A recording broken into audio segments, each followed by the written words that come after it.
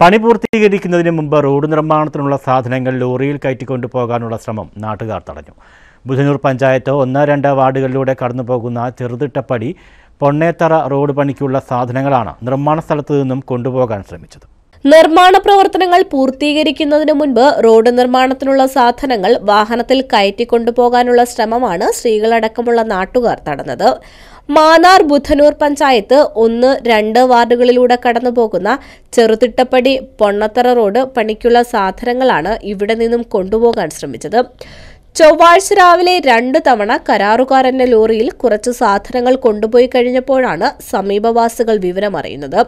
മൂന്നാമത് വാഹനമെത്തിയപ്പോൾ നാട്ടുകാർ തടയുകയായിരുന്നു. തിരുത്തപ്പടി പണതള റോഡ് ടെൻഡറായിട്ട് രണ്ട് വർഷം കഴിഞ്ഞു.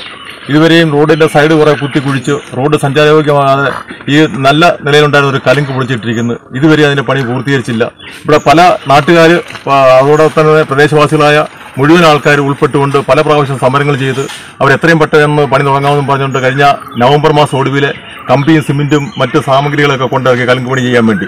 അവർ നമ്മളോട് അതിന്റെ എഞ്ചിനീയർ ഉൾപ്പെടെ സബ് എഞ്ചിനീയറും അതോടൊപ്പം തന്നെ കോൺട്രാക്ടർ സൂപ്പർവൈസറൊക്കെ ഈ സമരവുമായിട്ട് ബന്ധപ്പെട്ട് ഞങ്ങളോട് പറഞ്ഞത് റോഡിന്റെ ഇരുഭാഗത്തു നിന്നും കോൺക്രീറ്റ് തുടങ്ങുകയും അതോടൊപ്പം തന്നെ ഒന്നിച്ച് ആ സമയത്ത് തന്നെ കലിങ്ങിന് പണി ചെയ്യാമെന്നാണ് പറഞ്ഞത്. പക്ഷേ ഇതുവരെ ഒന്നും ചെയ്യാൻ പറ്റിയിട്ടില്ല.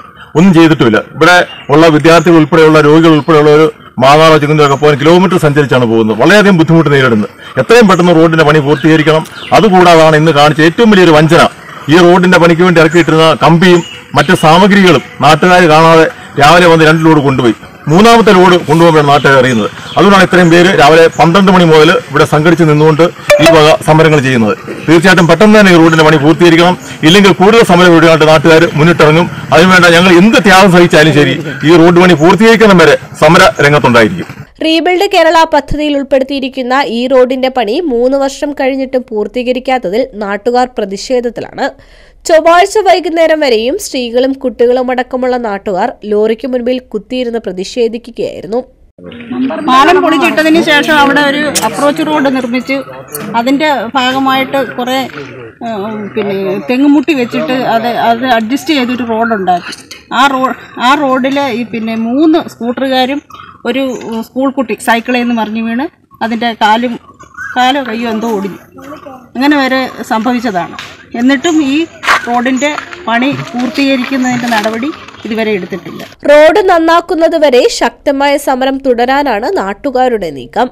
രണ്ടായിരത്തി പതിനെട്ടിലെ മഹാപ്രളയത്തെ തുടർന്നാണ് പദ്ധതിയിൽ ഉൾപ്പെടുത്തി റോഡ് നിർമ്മാണത്തിന് പണം അനുവദിച്ചത്. News bureau Mannar.